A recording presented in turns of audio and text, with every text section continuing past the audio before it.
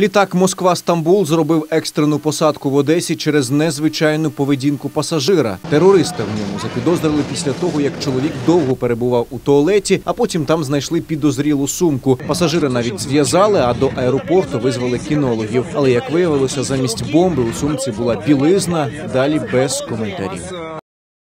Вас э, за что связали? За то, что я сидел в туалете дольше 20 минут. А по какой причине вы там так долго сидели? Я какал Ага. А и почему, вытирал попу. а почему с сумкой? У меня трусы запасные в сумке. Вже на в аеропорту на літак очікували спецпідрозділи е, Державної прикордонної служби разом з кінологами та співробітники СБУ. Після посадки пасажири були евакуйовані. Небезпечну західку обстежили кінологи, нічого небезпечного не виявили там. Після того, як бомбу не знайшли, літак продовжив політ і дістався пункту призначення.